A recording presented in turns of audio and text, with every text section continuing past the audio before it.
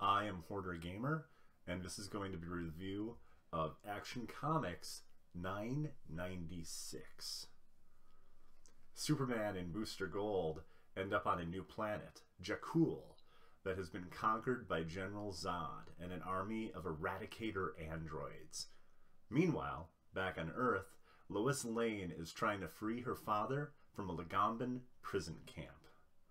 Lois mentions the difficulty she has had with her father, General Lane, but of course she doesn't want him to die for his misdeeds.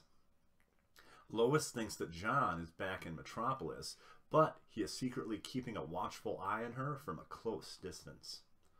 One of my fave moments is when Skeets, which is Booster's floating AI counterpart, disguises itself as an Eradicator droid.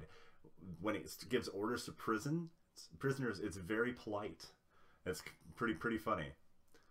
This book has a few surprises. One of them is the Eradicator showing up and realizing that not only are Superman and Booster time travelers, but that their ship is a time machine.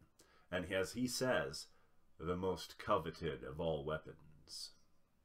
The second surprise has to do with the Eradicator constantly saying us rather than I. Lois's storyline is not that well balanced between the Superman and Booster story, and stops before anything truly exciting happens. My favorite image is the last page of the book, which unfortunately I apologize is a spoiler, and sometimes that's what happens. Sometimes that's the best art, and I'll, I'll, always tell you what the best art is and the best line of dialogue, and unfortunately sometimes it's a big spoiler. And I try not to spoil everything with my reviews. A few things here and there, but I try not to spoil the ending. So, my favorite dialogue is a conversation between Booster and Superman. Booster, we can deal with New Krypton in your present before the planet ever gets this bad. We, says Superman. Booster, sure, Booster Gold and Superman. The world's fine, no, Time's finest team which I love because it's like a whole take on World's Finest. So I thought that was really clever. I like that a great deal. Um, I give it a 7. Again, the Lois Lane story kind of bogs everything down. Welcome DJ Stoner Show and welcome Cryptical.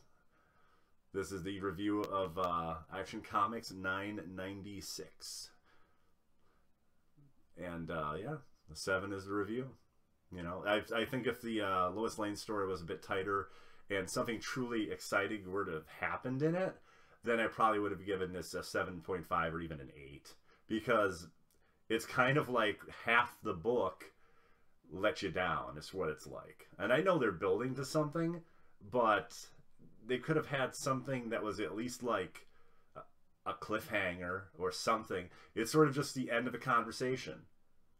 And then we cut to Jakul and all the events going on there with the Eradicator, Booster Gold, Superman, mm, which is the uh, that's the secret person that shows up. That's the that's where it's, it's, us instead of I, but I can't say who that is. I apologize. That is a spoiler. But I want to thank you very much for checking out this review. If you checked it out on uh, Twitch and you liked it all, feel free to follow. If you check it out on YouTube, feel free to subscribe. I do about two to four reviews uh, every week on different comics. And I want to thank you very much for your time. And I'll talk to you later. Bye bye.